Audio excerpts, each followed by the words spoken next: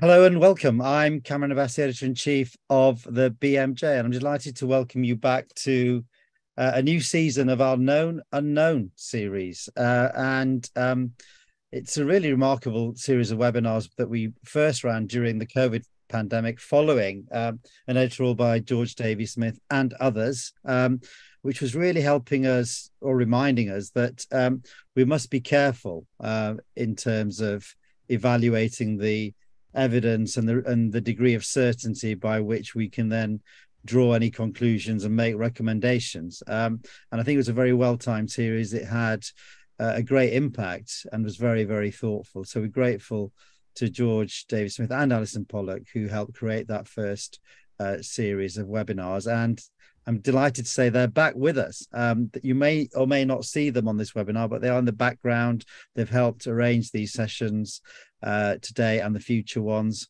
and they will be helping us, in particular today, curate the questions. So very grateful uh, to both of them. Uh, but the purpose of the series really is to address uh, key uh, issues, ones that are causing particular should be causing debate, leading to debate and controversy. Often uh, the debate gets a little heated uh, on social media. People get very angry. Um, and I think what we need to relearn in a way following COVID is how to discuss evidence and how to debate it in a mature way and in a way that helps us be constructive uh, and do the best thing uh, for people and the planet. Um, so that's what we're hoping to do with this series. We aren't going to shy away from tackling difficult issues because that's not in our nature at the BMJ. We will tackle difficult issues. And uncertainty doesn't just mean that well we don't know you know what to say or what to recommend. Uh, there are degrees of uncertainty. I mean some things are more uncertain than others. Um, few things are definitive or definite. Um, and in in that sense we need to try and understand what do we know about this particular topic, particularly a therapy area, and what you know what don't we know, and and what understanding what, what we don't know is just as important uh, as appreciating what we already know and where the evidence is at uh, at this point. So, welcome back. This is the first of a new series of webinars, and I'm delighted that I've got with me today uh, Professor Susan Bewley, and the topic today is therapy for the effects of the menopause. And this is, I mean, it's not a new controversy. I'm sure Susan will confirm that. Um, but it's certainly been given a fresh impetus over uh, the last year or so. So we're here to discuss where things are at. Um, and, and, so the format's slightly different as well. Susan and I will uh, take us through this afternoon. We're going to co-chair the session today. We've got three really excellent, possibly four excellent speakers today for you, uh, one on video. Uh, and then we will be taking questions. We want to be as interactive as possible. Uh, so do uh, do send us your questions, share your comments in the chat, uh, any direct question, any questions for the panelists, put them into the Q and A box. We've also got a, a, a particular question we want you to address this time around, and it's there are two questions, a two-parter. What's the best thing about the menopause. That's the first part of it. And the second thing part of it is what is the worst thing about the menopause? So what's what's the best and worst aspects of the menopause from your perspective? And do put those comments into the chat space and we will review those comments and we'll attempt to summarize them. And if any big issues and themes emerge, we'll try and address them uh, as we go as well. So uh, that's that's a welcome from me. It's great to be back uh, with this series. Um, and now over to our co-host, Professor Susan Bewley, who's emeritus professor of obstetrics and women's health at King's College London. Susan. Thank you very much, uh, Kamran. Um, the menopause, we know it's the last period, but the perimenopause, the years around it, when women like the opposite of puberty move from one stage of their reproductive lives into another. And thinking about the history, as you say, I have seen uh, the menopause be controversial, not controversial, controversial again. Um, why is that? What is the context in which we're having these discussions? Um, what is the context of women's lives? Um, and why is it important to think about the known unknowns? Well, because as you said, when you haven't got an agreement of facts, myths abound and people get uptight and cross what patients and doctors are wanting are things that address the symptoms and they need a critical analysis of what works. But I think here we've got some issues around the boundaries of what this thing we are discussing is. We've got some context, and we've also got questions about where we get information, how we know it's trustworthy or reliable. How's that information framed? Is it the best and worst, like we've asked you, or is it if I do nothing or if I do something? Uh, is it in absolute numbers? Uh, how is it presented, and what are my alternatives?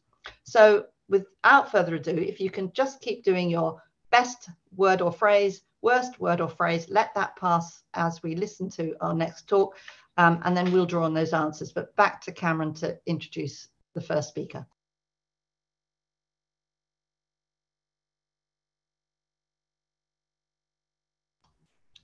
But he's on mute. Oh, well, there you go. The host is on mute. Well, cl- classic uh, error. Um, but well, uh, Susan, thank you for that. It's really good to have you with us. I think having your expertise with us is going to be really helpful uh, during uh, this webinar. Now, we've got uh, other speakers for you. So, our first, our first speaker is going to be Martha Hickey. Then it's going to be Gillian Reeves, uh, followed by Claire Hardy, and finally, Margaret McCartney. Um, and as we said, leave your best and worst in the chat box, questions for the speakers, do put them into the Q&A box uh, and we will address them uh, as we go. So our first speaker is Martha Hickey. Um, she's chair of obstetrics and gynecology at the University of Melbourne. She's the author of a recent BMJ analysis on the medicalization of menopause. It was um, a well debated paper.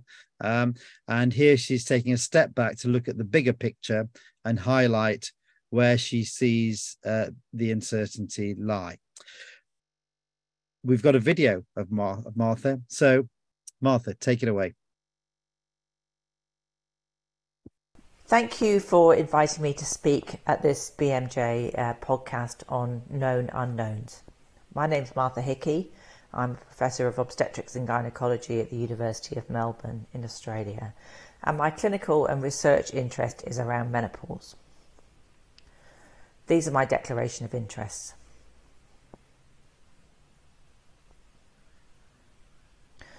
So, known unknowns in menopause, I hardly know where to start. We, we don't even have a consensus about what menopause is. Is it the final menstrual period or is it a year after the final menstrual period? There are different definitions. So, what's all the fuss about menopause? There's certainly lots of um, fuss going on in the UK at the moment um, for an, for an experience which is common to all of those born female at birth. I think it's the it's almost the only experience common to all females. And around 25 million women will transition menopause each year. The biology is ubiquitous, but the experience varies considerably. So, first of all, uh, for known unknowns, why does menopause even happen in the first place? Well, nobody really knows. Um, it's thought to be due to the loss of ovarian primordial follicles, and these are all established during prenatal life in the fetus. And around about 30 weeks gestation, they nearly all die, and, and nobody knows why that is. And once um, that child is born, those ov- ovarian follicles can never be replenished.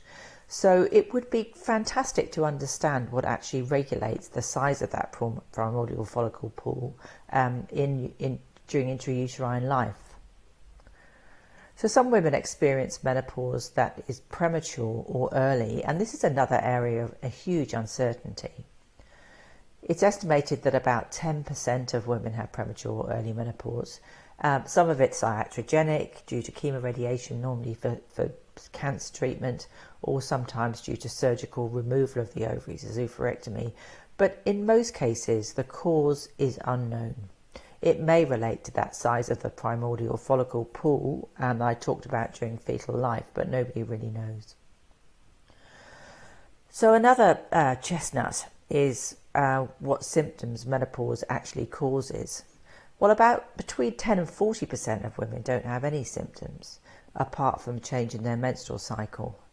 Uh, we don't really know how many women have severe symptoms. It's sometimes estimated as about 25%, but more recent data suggest it's more like 16%. And we've got no way of working out which women are going to have terrible menopausal symptoms that are distressing or prolonged, and which women are going to have no symptoms. There's certainly huge variation by race and by geography. So, overall, although the biology is ubiquitous, there is no universal experience of menopause around the world. So, HRT, hormone replacement therapy, is a big area of controversy in the UK and worldwide at the moment. And it is a very effective treatment for vasomotor symptoms. It'll reduce them by about 80%. Unfortunately, when you stop, about half the women who take it will have resurgent symptoms. And of course, there are effective alternatives to HRT now. There are non drug methods like cognitive behavior therapy, or there's non hormonal prescription medication. And the efficacy of that is creeping up. It's still lower than um, HRT, but with the introduction of new medications such as fezolinetant, um, recently registered in the US, we are going to see more effective targeted therapies. And whilst women might start HRT when their hot flushes start during the perimenopause or menopause transition, we actually have no data on the efficacy or safety of it until they reach the postmenopause, which is concerning.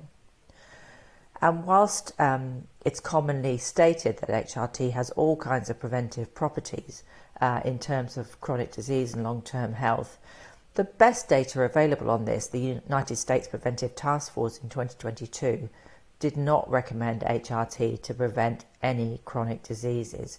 So, just to summarise, that's it hot flushes, no miracles. So, who should actually take it? Um, in the UK last year, about 14% of women were thought to be taking it, and but the, there is certainly discussion that that might be going up. So it's interesting to know uh, why, since 80% of women are symptomatic, why don't they all take HRT? And that's another unknown. Do women not take it because they can't get it or because they don't want it? Looking back to 1975, when uh, HRT was first introduced and, and widely available, the Lancet quoted that the prospect of a universal treatment of a large sector of the female population is clearly a, a glittering prize of the pharmaceutical industry, and hence it was. And what about testosterone, the other hormone? Well, endogenous testosterone, as produced by the ovaries, does not fall over the menopause transition. So it's not like estrogen and progesterone. Um, if you take testosterone, um, it does improve libido, but the effect is actually quite modest. Um, and the recommendations from last year, only you know 2021, recommend only giving testosterone to women who've got a, a, um, a psychiatric condition called hypoactive sexual desire disorder, and it has no other clinical role. So, again, the effect of testosterone is one more sexually satisfying event per month. That's it. So, how can we support women better through the menopause transition? I'm going to just propose that we take a different approach and consider how we can empower women to manage this normal life stage. And these are some some components of, of empowerment giving women realistic and balanced information, giving them tools to help them choose the right treatment. Those things don't exist at the moment. Um, access to a cl- clinician who's prepared to listen with empathy and make decisions with them, access to effective treatments if and when they want them, and joined up care for prevention of chronic disease that doesn't rely on hormones because they don't work, and of course, practical support in the workplace. And that is changing in the UK, and that's fantastic. So, we could also think about celebrating the contribution of older women. 40% of our workforce are women over 50.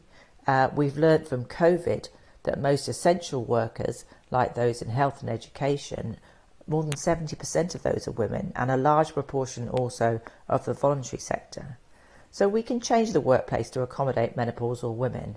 Um, at the moment, coping at work is one of the main reasons women take HRT. So another approach would be to change the workforce so they don't need to take hormones just to be able to do their job. We can also challenge the narrative of menopause as a hormone deficiency disease like diabetes or thyroid disorder, as has been very widely promoted. And I think most importantly, if we are going to frame menopause as a catastrophe, we need to think hard about the message we're sending to younger women who will inevitably face their own menopause. Thank you.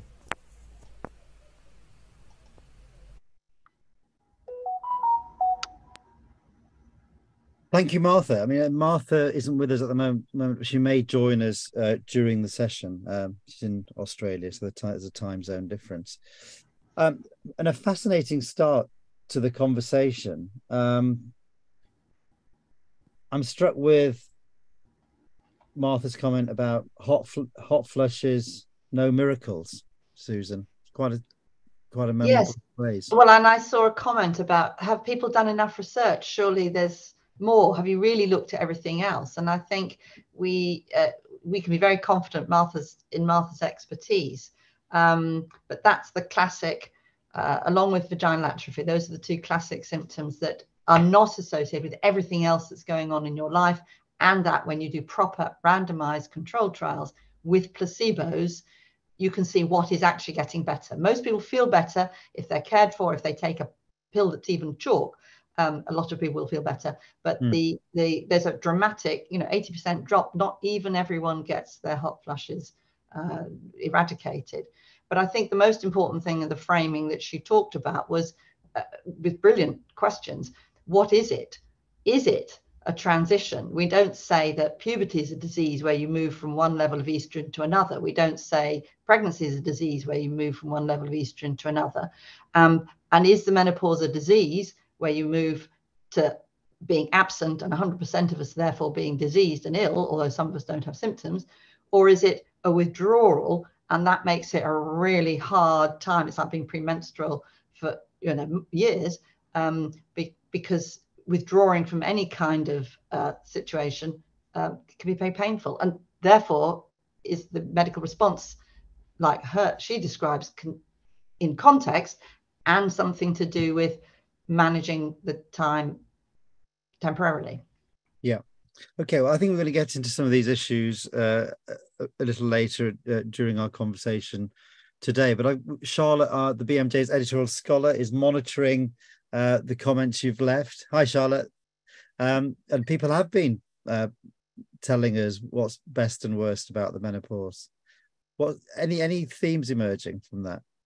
Yeah, definitely. So, um, in terms of the worst things about the menopause, we've got lots of comments about the psychological effects. Um, lots of people talking about an increase in anxiety.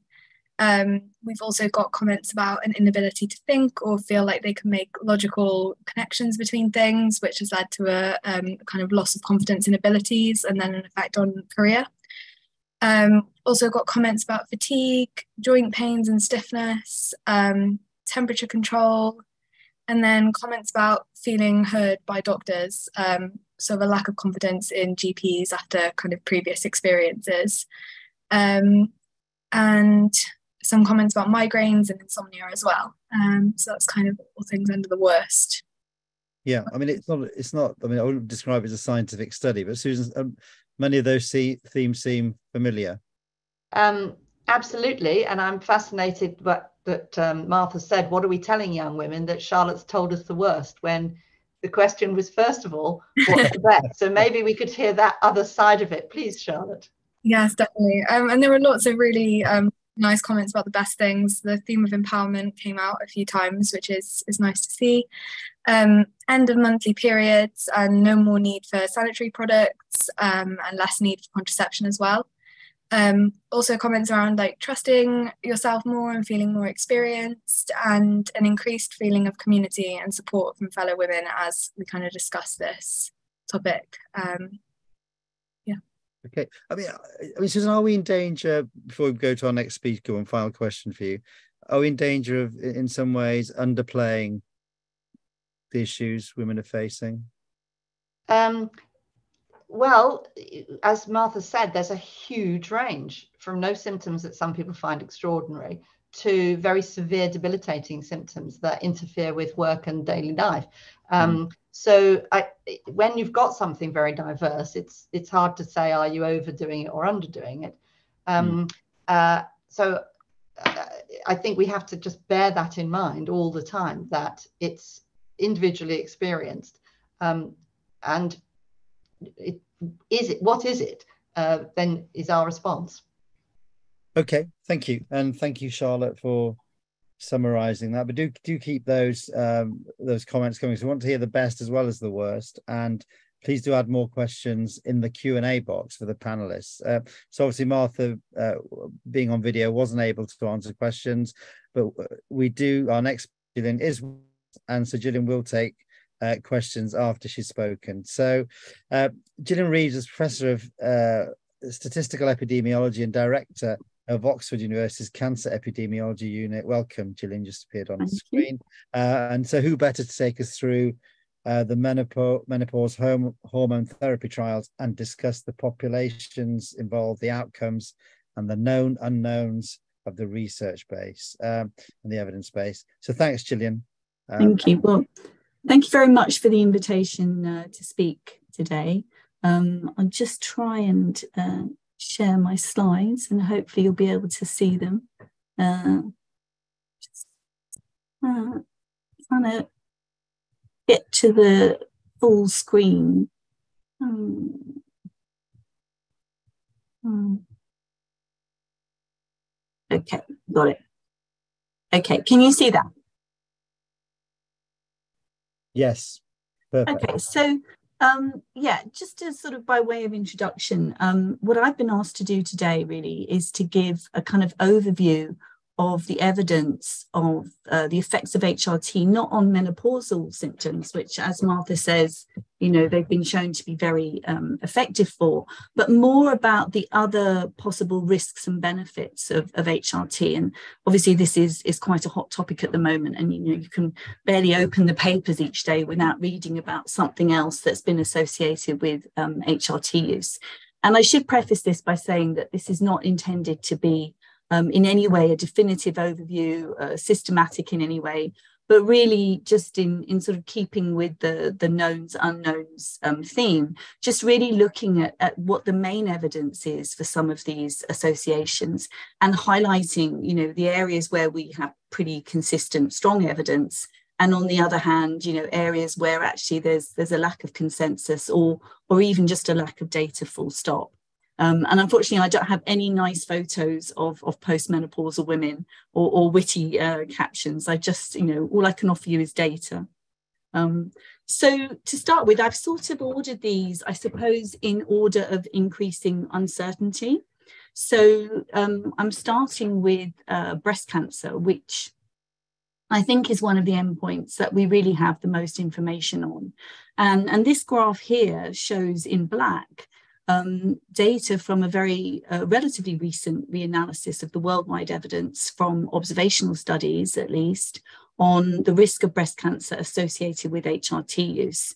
Um, and as you can see, if you look here, this is the relative risk in women who take in estrogen only and in women taking combined um, HRT relative to never users. And I think you can see here that, you know, in current users, there's a very smooth and very definite increase in breast cancer risk with increasing duration, uh, similarly for users of combined therapies. But also, once women stop taking HRT, although this risk um, decreases somewhat, there is some excess risk which persists for many years. And at the moment, we know for at least 10 years after stopping, there's some excess risk. And, and these figures in red here, which I've overlain here, are really the, the data from the clinical trials from the Women's Health Initiative. And I think you can see here that actually they're broadly similar to what we see from, from the observational data. Um, certainly for combined preparations, you can see there's a significant increase from the trial data, slightly um, more discrepant findings for estrogen only from the trials.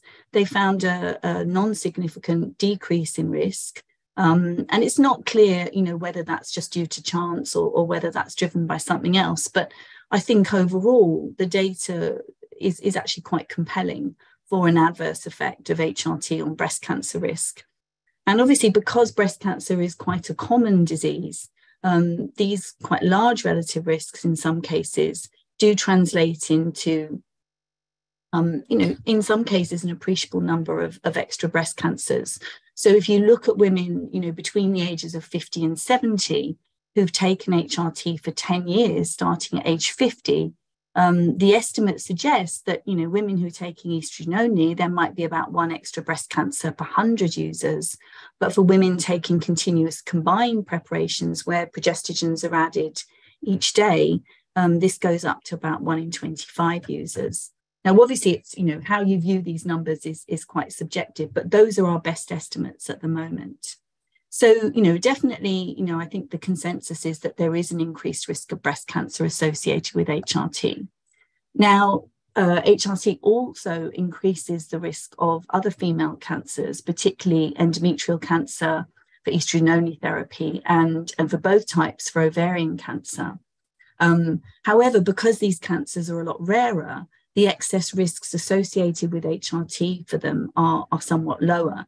Um, and this bar chart here just really shows um, five year incidence rates per thousand women according to HRT use. Um, split by each of these different types of female cancers.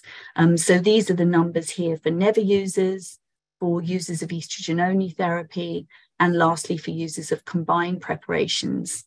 And you can see that you know, estrogen only is certainly worse for, for endometrial cancer. Um, it, it, it carries a, a, bigger risk of endometrial cancer. But actually, in terms of total um, female cancers, actually, the, the biggest excess risk is definitely with use of combined preparations.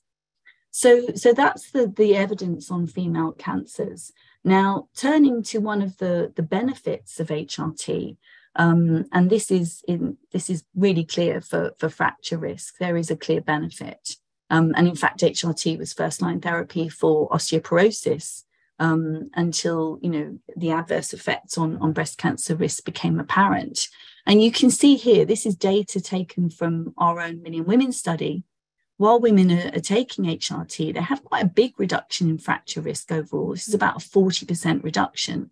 Um, unfortunately, once they stop taking it, this benefit really disappears quite quickly. And you know, you can see here it suggests that even within a year of stopping use, their risk goes back to that of someone who had never taken HRT. And we also have quite good um, clinical trial evidence on this um, from the Women, Women's Health Initiative.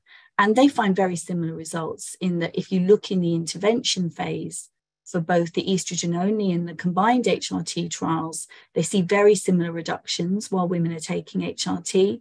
But in the analyses of women, sorry, in the analyses of women after they stop taking it, again, there's evidence that this, this benefit quickly disappears um, or largely disappears. So what this says is that, you know, HRT does protect against fractures. It's very good at protecting against fractures, but the effect is very transient. And so, you know, what people I think often overlook is that, you know, taking HRT in your 50s for sort of five, 10 years, you know, you're not going to get lasting benefit from fractures from taking that. And it's certainly not going to protect you in your 70s unless you take, you know, carry on taking HRT, which of course would incur, you know, additional breast cancer and possibly other risks. So that's the main benefit for, for fracture risk. Now, in terms of um, cardiovascular disease, which is, uh, you know, getting into the more contentious area now, and this is that the outcome that was really, you know, that the Women's Health Initiative trials were set up to address. Um, and you can see from this graph here, this shows the, the results of the, the WHI trials. The, the black shows the results for the intervention phase, you know, um, what, when the trial was stopped, um, shortly after when we stopped taking it. And the red lines here are the, the cumulative follow-up, so the longer term findings. And you can see that for stroke, for, for any type of HRT, there was a clear and significant increase in risk. And in fact, this is why the, the estrogen only arm of this trial was, was eventually stopped. Um, but for coronary heart disease, which was actually thought to be prevented by, by HRT, there was actually no evidence for a risk or, or a benefit. And actually, had, had we stopped there and never done any more analyses on this data, I think the conclusion would be, you know, increases stroke and VTE, but actually doesn't really have an effect on coronary heart disease. Of course, that's not what happened. And these data have been pored over for, for many years since those trials stopped. And actually, one of the subgroup analyses that has received a lot of attention is this one here, looking at estrogen only use and coronary heart disease by age at randomization. And that's because when they did this analysis, they found this very borderline uh, significant reduction in risk in women who had been randomized in their 50s. Um, and this was seen by, by many people as evidence for this kind of critical window of opportunity hypothesis, which kind of says that, you know, in order to get the benefits for coronary heart disease, you really have to start taking HRT almost as soon as, as the menopause hits. And taking it later is, is you know, has no beneficial effect and actually um, might increase risk. Um, However, you know, when the, the trialists looked at this question specifically and they went back and looked at the results according to the interval between menopause and starting to take HRT, they actually found no evidence of any, any difference in effect. Um, and if you look at the observational data, they generally seem to show a small to maybe a 20% reduction in coronary heart disease in, in users of HRT. But of course, it's very difficult to assess how, how those results have been impacted by confounding, because we know that HRT users may differ in terms of socio-demographic, um, certain risk, you know, behavioral risk factors, and it's not clear whether those observational results are really very reliable for, for coronary heart disease.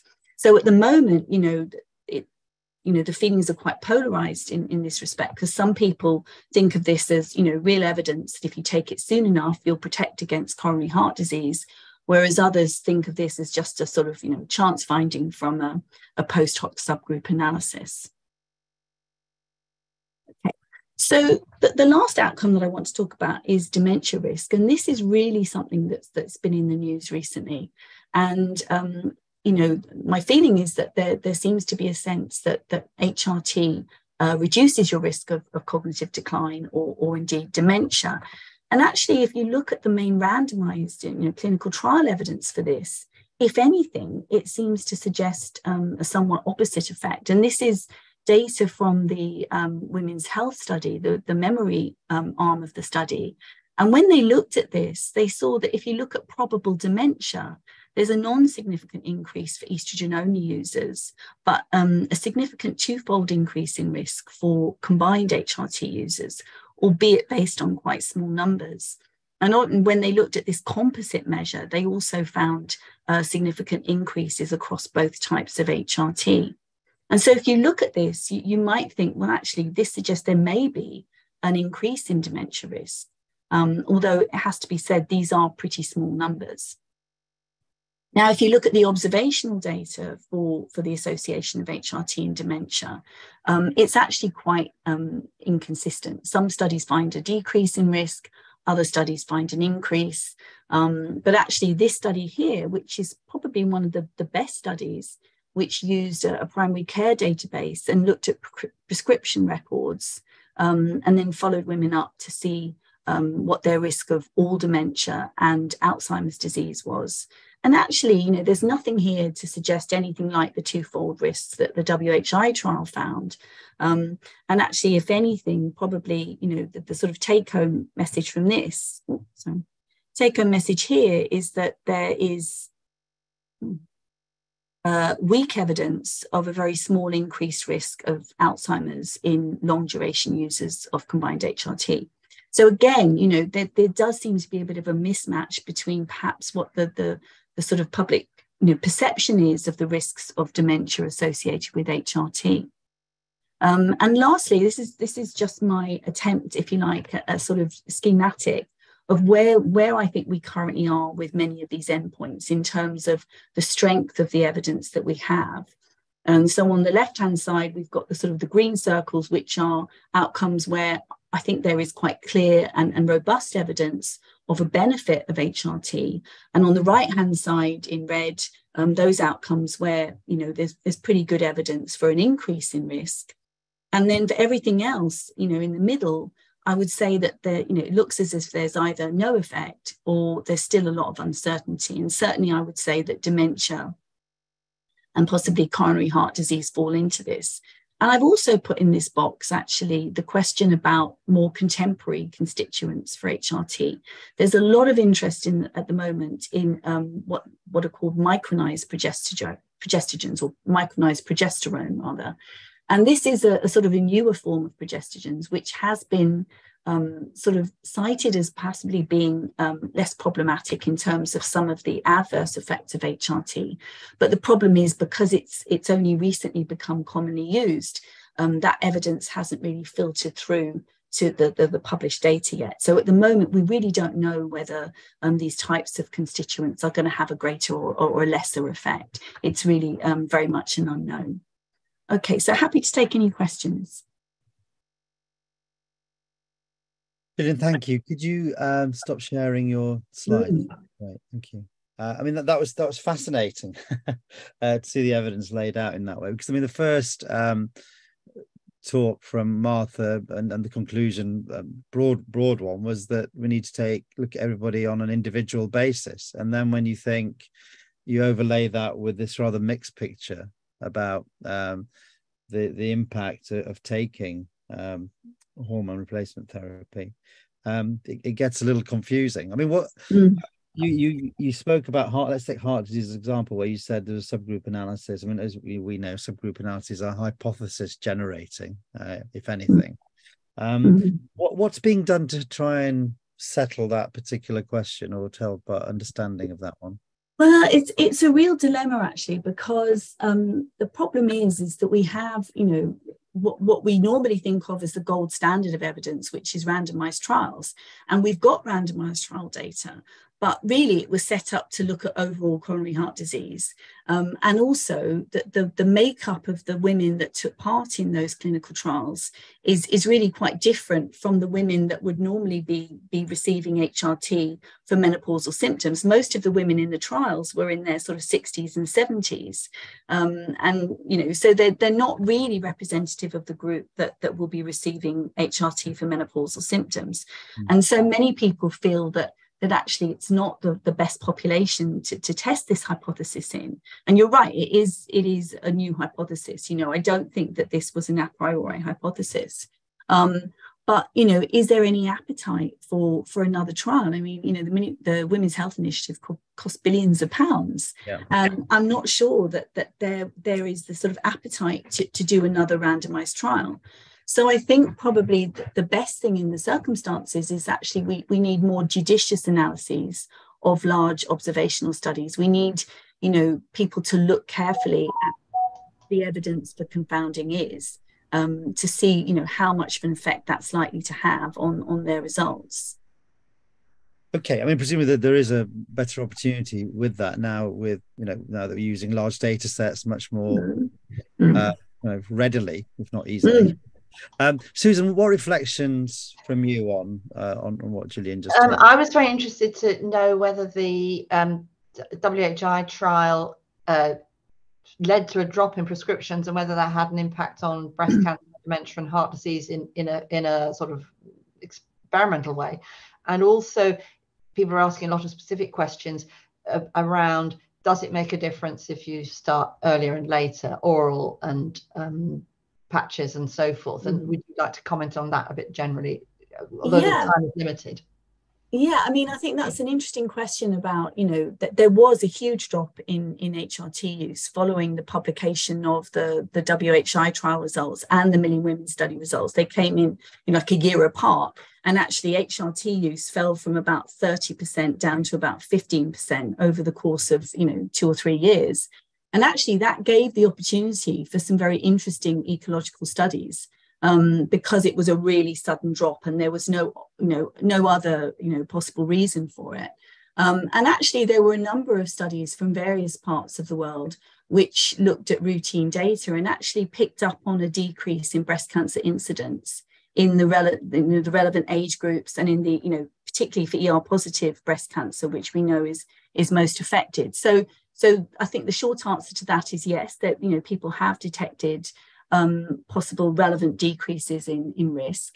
In terms of the, the difference in effect between the sort of mode of delivery, oral versus um, transdermal, the, the, it didn't seem to make much of a difference in terms of the breast cancer risk.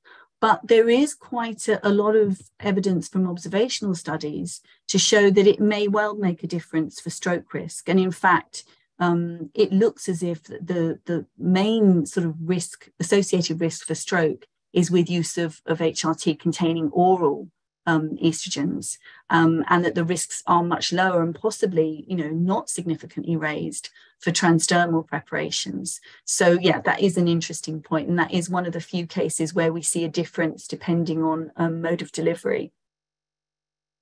Thank you, thanks, Gillian. I mean, Susan, you were making the point. I mean, you you're watching, uh, observing the questions people are asking uh, in in chat. I mean, some of these are already answerable uh, via NICE guidance. Is that correct? Yes, I would very, I would very strongly recommend people went and had a look at that because it's very balanced. It looks at the randomized and non-randomized uh, work, and it gives numbers. It doesn't answer every specific question, uh, but a lot of it is in there, and it's a trustworthy source of information. I think that's one of the problems is, uh, you know, who's telling me this and what are their biases, um, and that's why the natural experiment looked very uh, strong around the breast cancer. But of course, people are interested in my symptoms now and what about strokes and dementia later. So mm-hmm. I, I, think there are things to be answered, but sometimes people are looking for excuses not to take it, and sometimes people are looking for excuses to take it, and then all we do is get upset. Yeah, yeah. Okay. What what what other questions are emerging in the in the Q and A, Charlotte? Um, great. Thanks. Gillian specifically. Um, so we've got a question saying, are there studies showing that HRT reduced the risk of dementia, cardiovascular disease, and general effects of aging, even in women without previous menopausal symptoms? Okay, so in most of the observational studies, we don't really know exactly why women are taking HRT. We don't know for you know we don't know the severity of their symptoms. We just know that they're taking HRT. So it's not clear exactly you know, whether these are women who've got severe symptoms or not. Um, you know, are there studies showing decreases in risk? Yes, there probably are. You know, there are observational studies which, you know, which show decreases in risk of coronary heart disease, for example, and, and dementia. Um, but the problem is that there are also studies showing an increase in risk. And, you know, it's that lack of consistency that I think makes it very difficult to be able to say, you know, actually you know is this something that should be given for for prevention rather than treatment of symptoms because you know if you're going to give something for prevention then you have to be you know quite clear about what the likely you know risks and benefits are going to be. And i think for coronary heart disease in particular it's really unclear at the moment because of this apparent mismatch between the trial data and, and the observational studies. Thank you. Uh, any more charlotte yeah, um, so we've got a question about um, how long is it safe to take HRT after surgical menopause? Could it be age unlimited? And if so, what to look for as a possible risk? Well, this is one of the special groups that, that Martha alluded to. And actually, you know, obviously women who have a, a, surgical menopause tend, you know, are a subgroup and, and they use, usually have a surgical menopause obviously a bit earlier. Um, so there's less data specifically about them. Um, but you know, certainly in terms of the breast cancer risk, what we see is that in relative terms, the effect of taking HRT after, say, an early surgical menopause is very similar to, to you know, somebody taking it after a natural menopause at age 50. The only difference is that those women who have an early surgical menopause will be at a lower risk of breast cancer to start with by virtue of their early menopause. So, you know, you could say that, you know, the excess risk that they'll be experiencing will, will be less. Um, is, you know, ha- it's a difficult question to say, you know, how long is it safe to take for? You know, it will your risk of, of breast cancer and some of these other outcomes will increase with increasing duration of use um, and so there's no sort of safe non-safe threshold i think it's it's more about trying to look at as you say the NICE guidance and the and the numbers of cases that it's likely to incur and just trying to to assess whether you know for, on an individual basis whether that's a risk that that the woman is is comfortable with Great, thank you. Um, you're doing a great job of summarising the evidence. It's all very complicated. uh, Charlotte, uh, one more then. Is there another one? Yeah, yeah, there's yeah. Um, so okay. this one um, was a question echoed by a few people, which is why did you not include the E3N cohort study in the paper? Does it not fulfill all the inclusion criteria? Yeah, okay, no. It, a specific it, question, but yes, over to you.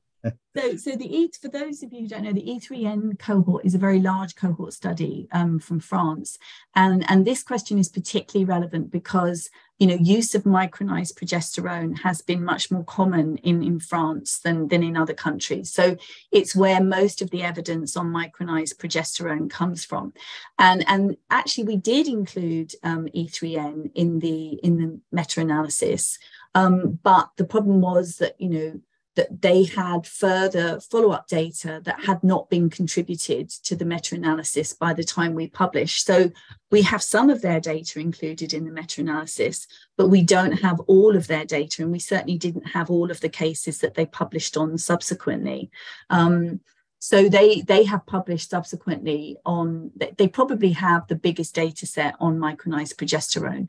And and some of the findings are interesting but it's still relatively small numbers of of cases compared to the information level that we have for for those other commonly used um, preparations. And that's why I, am still you know being a bit cautious about how much you can interpret that that information as saying that these definitely have a, a different effect to other sort of older preparations I think the main message is there's a trade-off. If you have an early menopause, you get some more diseases. If you have a late one, you get some more disease. If you have more periods and more or less children, uh, you have more risks, and the same the other way around. And it sounds like we can't we can't win it all. There, we're going to have uh, benefits and harms, whatever the decisions. So difficult trade-offs, but good information in the NICE guideline, which is there. But we're now running a little behind for Kamran. I know you don't want to do. No, we'll miraculously, you know, I hope still finish well in time, Susan. Don't worry. But I think it's a really helpful conversation because it's um, you know, contextualizing the problems faced in that conversation between a clinician and somebody seeking best advice and how do you how do you decide on those trade-offs charlotte have, uh, was have we we got more questions for gillian or are they well gillian's not there now so uh, we'll ask her oh she's come back did you have one more you said yeah we can do one more um That's the last one yeah yeah, yeah. Great. Um, so is the risk of breast cancer higher for women whose mothers or sisters have had breast cancer post menopause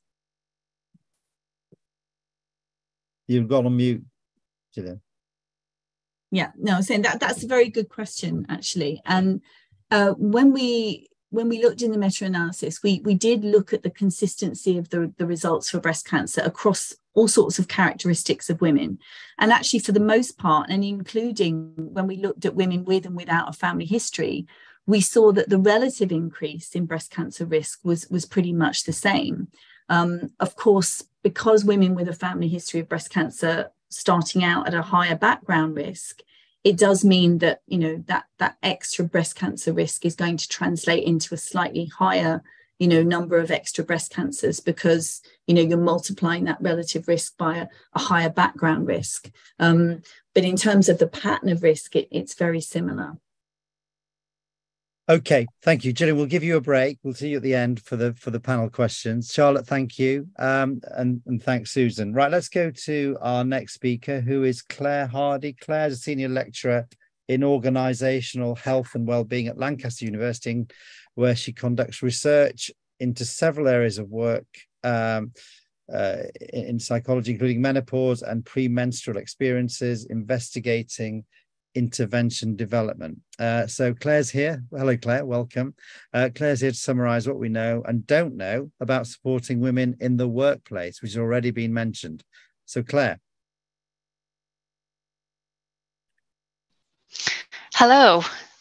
Um, can you see my screen yet? I think there was a delay when we tested it. We can see it. Oh, wonderful, wonderful news. Okay, so yeah, so I'm going to take a bit of a shift um, to look at the context of the workplace. So for my uh, presentation, what I'm going to do is just briefly share with you just some of the published um, peer-reviewed research evidence on interventions that have been conducted within the context of work on female employees and their menopausal symptoms, for example. It's, it's an aspect of the menopause that you know doesn't get as much attention in research than other aspects like HRT. Um, Uh, I think it should, but I'm biased in, in that view. Uh, but anyway, hopefully this presentation will just make some of the existing evidence more known to people who are on the call. And um, if I have time at the end, if we're not going to be too strict with times, I'd like to kind of touch on just some of the unknowns that I think we should really consider with menopause and work. Okay, so you know, just why is menopause in the workplace, uh, you know, important? So, kind of Martha touched on this, but you know, we have a lot of female employees employed um, in the UK, approximately around about 5.2 million at the moment are in around about the age when you know they may be experiencing menopausal symptoms and going through their menopausal transition and whilst for some that's absolutely no problem at all, for others it can be quite difficult. Um, potentially, you know, maybe up to half um, of menopausal working women may be experiencing difficult symptoms um, at work. Um, now, a lot of this data is kind of pre-COVID data, um, which is one of the unknowns. Um, we definitely need to think about the workplace moving after COVID because things have changed so rapidly. Um, but you know, some of the difficulties that women often talk about, things like you know, concentration problems, fatigue, mood, um, irritability, the hot flushes, as well as the physical aches and pains. And not surprisingly, women are concerned about going through their menopause and how that might affect their performance at work, how it might affect their career, how are they going to balance work life when they've got symptoms to manage on top of that as well. Um, and something that is quite, you know, always strikes me um, and kind of, you know, really wants me to get to grips with this is just that there seems to be a lack of conversation about this in the workplace. Um, and women often said they don't feel able to disclose their menopause or if they're having any difficulties with their menopause to their line managers to their workplaces you know maybe just to ask for some some help and support and from the research, some of the reasons that, that women give for that often relate to the, the organizational context and factors related to the workplace. So, who is their line manager? Are they male? Um, you know, do they work in a male dominated environment that makes it quite difficult for women to feel like they can speak up? You know, what kind of relationships do they have with their managers and with colleagues that, you know, maybe affect whether or not they feel they can have that kind of personal conversation? Because there's that fear of a of not getting a, a, helpful or positive response. There's that fear of a, of a possibly a stigmatizing view that people might have um, about going through the menopause or their age. And women can find it embarrassing to talk about and feel that if they raise it to a line manager, they might feel embarrassed to talk about this topic. So they kind of avoid it. Um, and some women say in some of the, the research and the interviews we've done, you know, they just feel like it wouldn't be considered a valid reason um, to ask for any help or support at work and they feel like they just have to get on with it um, and not ask for any help which to me just it just doesn't it doesn't seem right. Um, particularly as when you explore what it is that women say that they want you know these things here they're not they're not big asks you know they, they're quite minor things that can be provided um, and adjustments can be made for but you know we just seem to be a long way off where we, we where we need to be now, in terms of workplace interventions, um, what do we know about them? What things have been done in the, in the evidence? Um, well, well, actually, very little. So when you look at the published studies um, from peer-reviewed journals on workplace interventions and the menopause, there are five published studies in this area, three of which focus specifically on kind of looking at the menopausal symptoms and experiences in female employees. And I'm just going to try and go through very quickly um, these kind of different interventions, um, just so you've got an idea of the kind of things that are being offered and that are being tested. So the first one here is a, an intervention that comes from over Amsterdam in the Netherlands, and it's the Work Life Programme. Um, now, this is an intervention that was carried out with female workers, whereby they quite consistently, um, consistently, quite simply, um, what they did was they they had three kind of main components of their interventions. So they had eight one hour sessions um, with these workers where they had menopause consultation, they had a work life coaching sessions, they had physical training sessions that happened kind of simultaneously, and then they had another menopause consultation as well. And those sessions kind of spanned out over a couple of months. And what they were interested in was to find out, you know, is there any impact of this particular program on women's health and work functioning?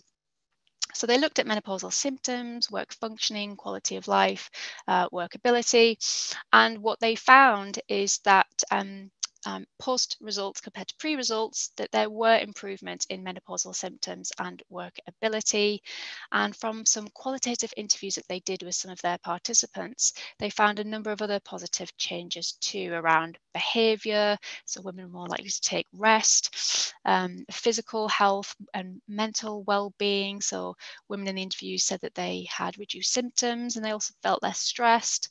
And then in the workplace, um, the interviews were suggesting that women said that after the intervention, you know, they were just managing their workload a bit better and they were just more open to talking about the menopause. So that is the first kind of intervention. They're looking at female workers and giving them information and help on their menopause. But then we have another intervention, which is much more focused on the impact of meditation on insomnia and menopausal symptoms in working menopausal women. And this comes from us from Brazil.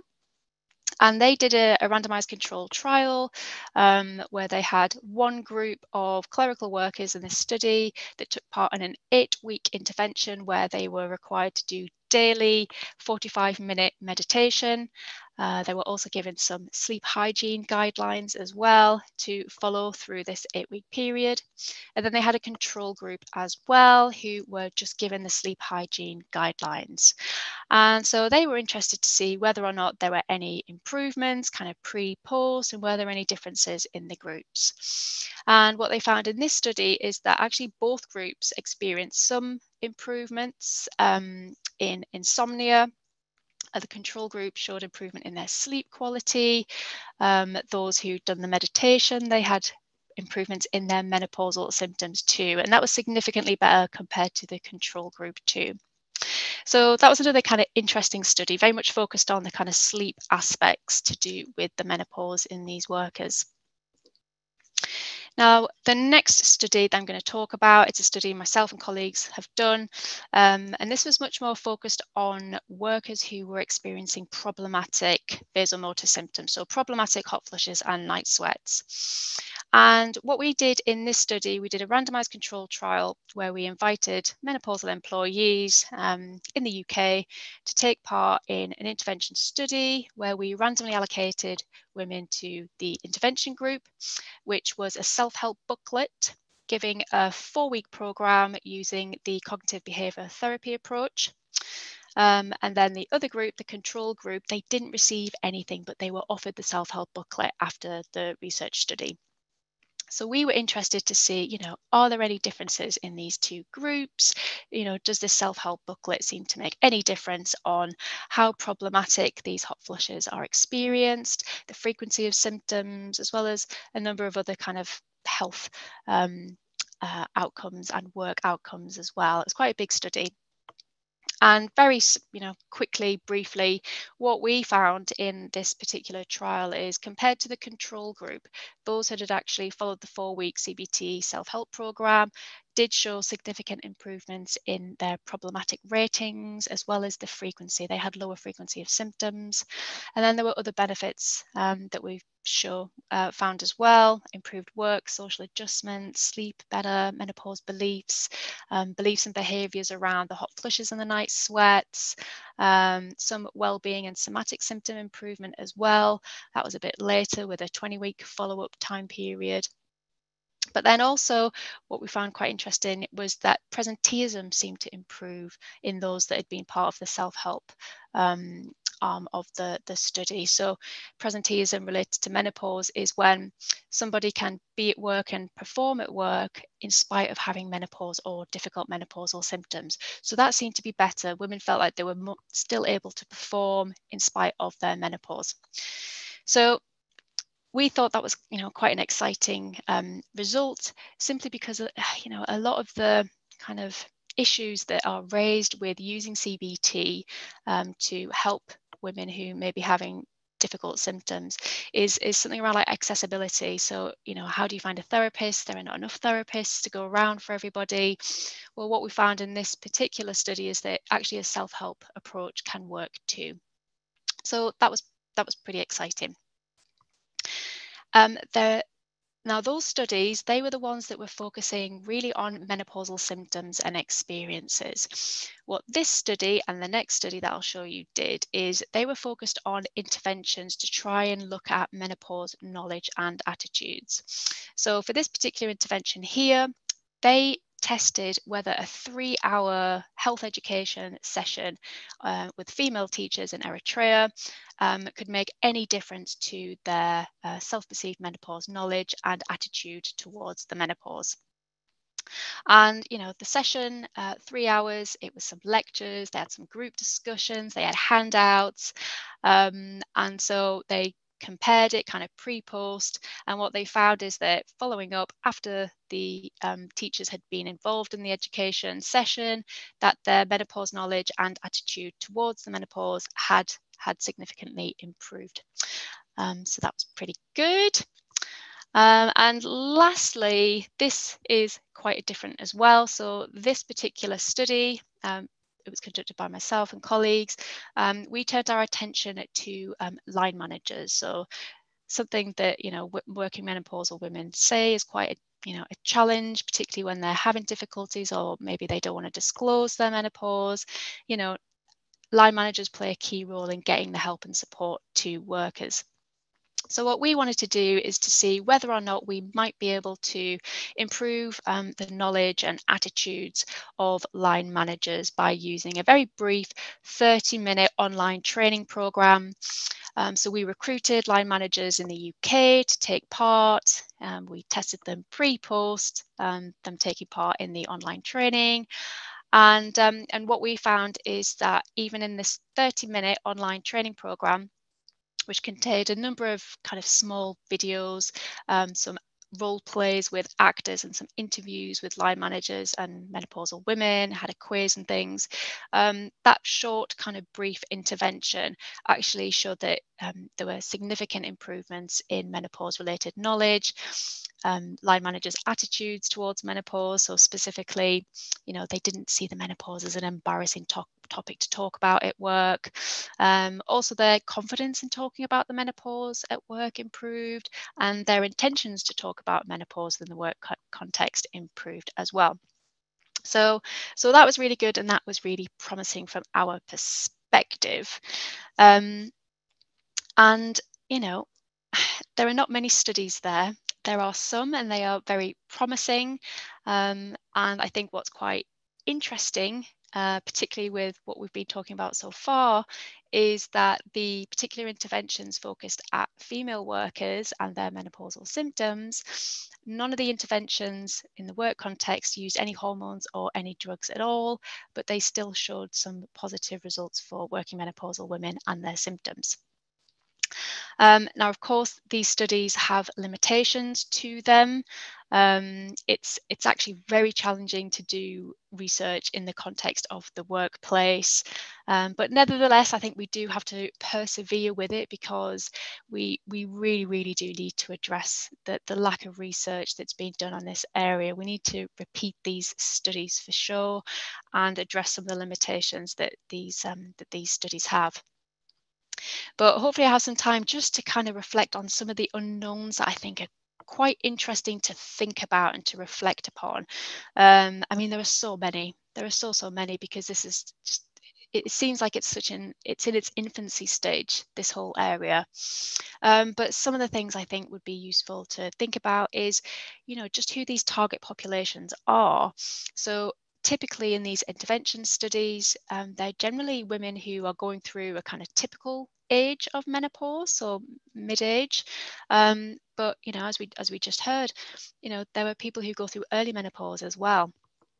Um, you know, we don't we don't know if if if interventions might work for them. Um, you know, we have a lot more workers now who are coming into the workplace with um, disabilities. Is there anything for them? You know has it been evaluated does it work don't know. You know, there are lots of things kind of happening if you look online, if you look on the media. There's loads of trainings on offer for workplaces. There are, you know, expert consultants offering services and training and things but you know we we don't know if they work. We we don't know if they're effective. Um, and I, I would love it if we could share all the evidence that perhaps the, these are the people have because i think it would be wonderful to try and bring it all together to try and understand what's going on. Um, but something i think that is particularly interesting to reflect on is the potential focus that might be drawn um, uh, some people might draw the conclusion that there's a focus on the employee and their symptoms and helping the employee in their symptoms kind of versus the organization. So is it that it's the responsibility of the employee to manage their symptoms and that's all that matters it's it's up to them or is it that the workplace has a role to play as well and you know we sometimes again hear in the media that menopause causes women to leave work um, but i think the question is is it the menopause or is it an unsupportive workplace? Um, to me, I think I think I think it's both. I think both have a role to play, both the person and the organization. I think we both have a, a role to play. But, you know, we need to investigate that. We need to have a look at that. Um, and there are just so many other questions to think about as well. So, do knowledgeable managers actually lead to improvements for menopausal workers and their menopausal experience? Don't know. Does having workplace menopause policies actually make any difference to workers going through their menopause? Don't know. We don't know yet.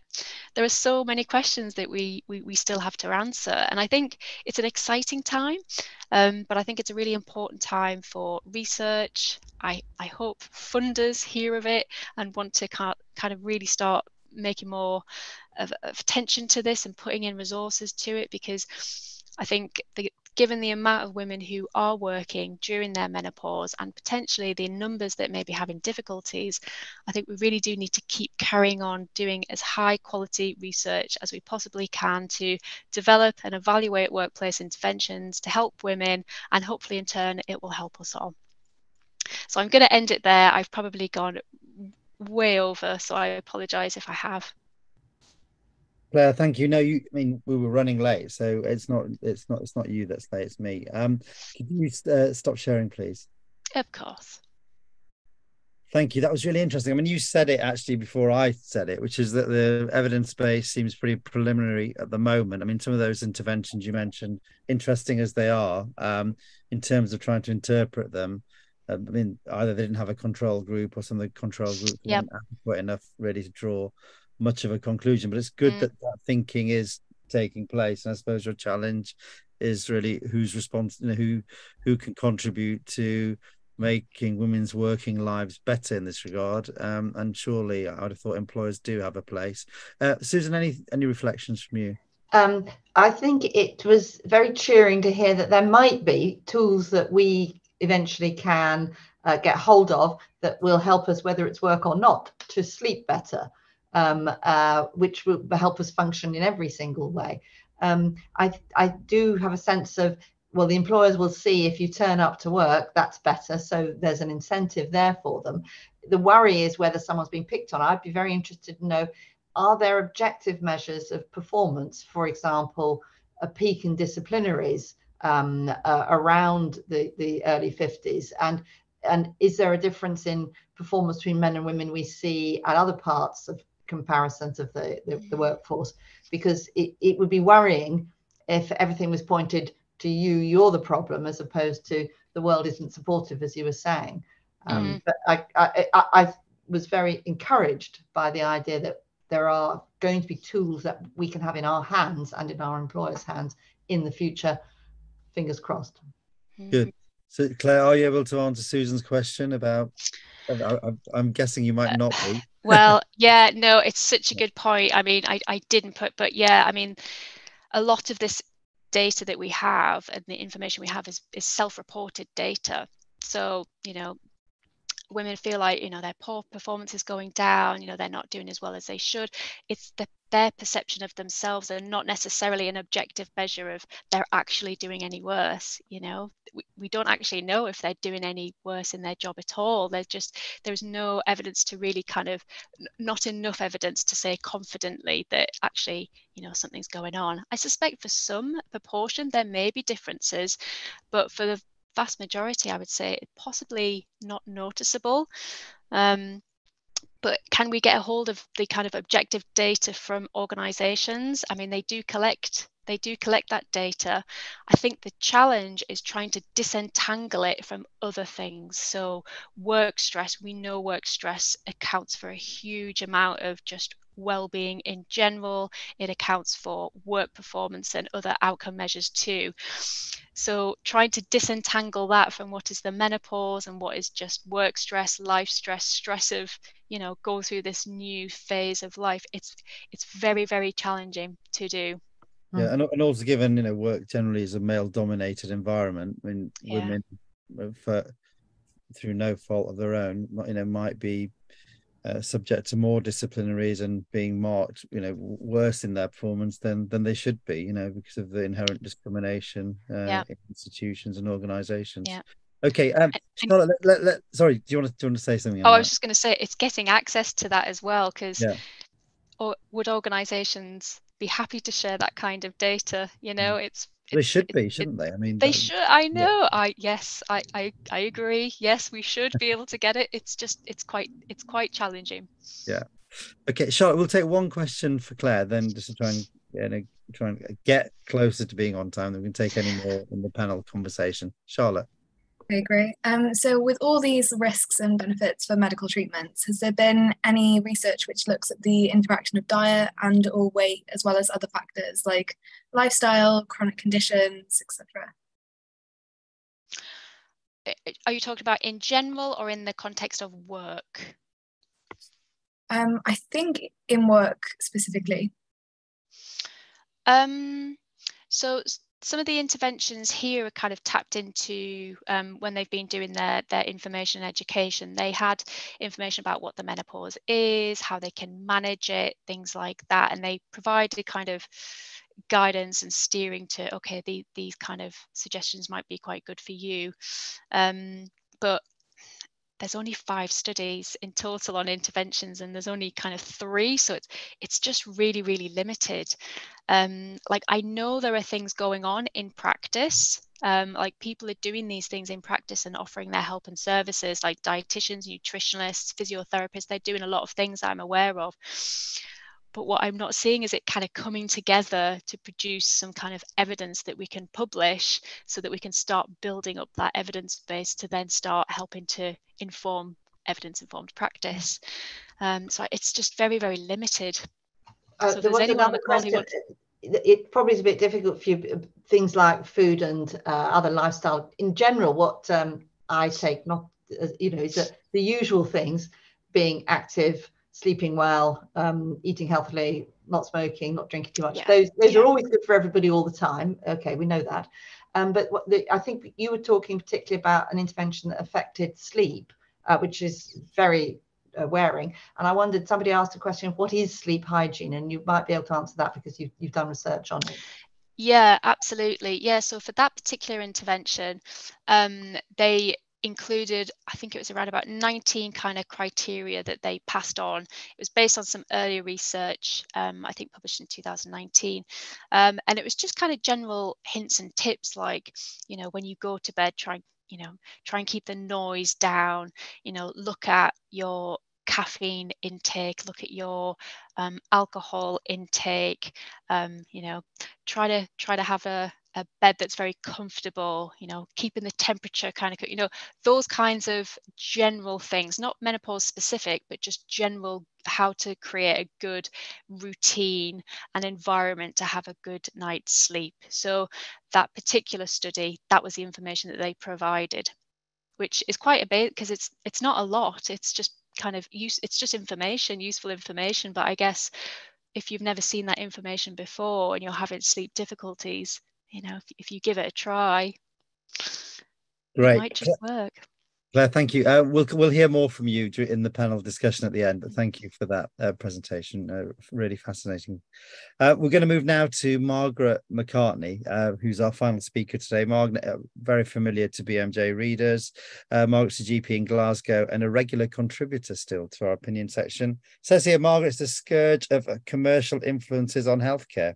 I think that's probably true, um, and that's why I've asked Margaret to come here and talk to us about the money that's affecting the debate around menopause care. Margaret, welcome. Hello, thank you for having me. Someone needs to let me share my screen. we need to show Margaret now that she's here. I'm definitely here. I'm trying to leave.